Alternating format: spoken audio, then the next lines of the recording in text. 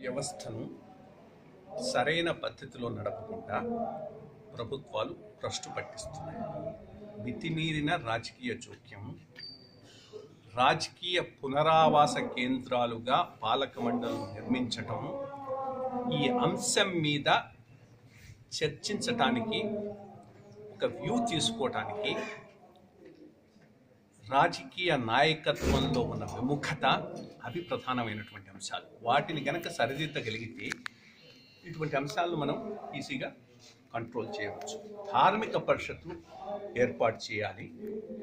నిబద్ధత హిందూ మతం మీద నమ్మకం ఉన్నటువంటి వాళ్ళని దాంట్లో మెంబర్స్గా అయ్యాలి పూజారి వర్గంలో ఒక సెల్ఫ్ ఎస్టీమ్ తీసుకొని రావాల్సిన అవసరం ఉంది పూర్తిగా వాళ్ళు కోల్పోయినారు. ఈ ఈ రాజకీయ ప్రమేయాలతో ఈ వచ్చే పాలక మండలితో ఈ ఈ లంచ్ ఈ లంచకొండి ఆఫీసర్లతో కొంతమంది వాళ్ళు కూడా మిలాఖత్ అయ్యి మొత్తం ఆలయ వ్యవస్థనే ఈ గత ఇరవై ముప్పై ఏళ్ళలో భ్రష్టు పట్టించారు.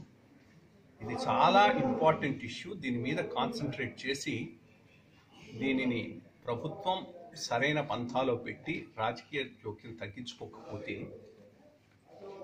మత వ్యవస్థకే పెద్ద ముప్పు ఏర్పడేటువంటి అవకాశం.